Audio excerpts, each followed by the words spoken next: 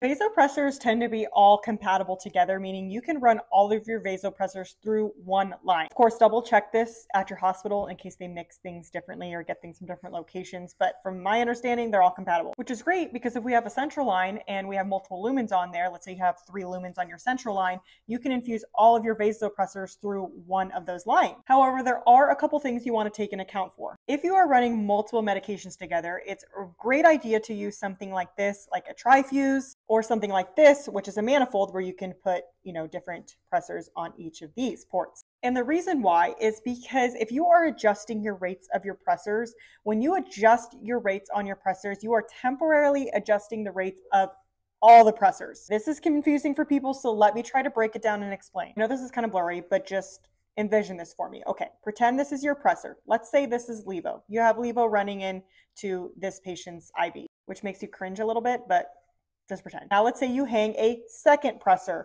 and you have it Y-sided in right here. Now let's say you're adding a third pressor and you Y-site that one in to your vasopressin. Now you're adding a fourth pressor, Boom. And you're Y-siding that into your third pressor. All of a sudden you have a long chain of vasopressors. That fourth pressor that you Y-sided in is going to take a while to travel down the long chain of IV tubing and infuse into your patient. Also, let's say you have three pressors running already, they're all Y sided in, and you hang a fourth pressor, and let's say that's running at 10 milliliters an hour.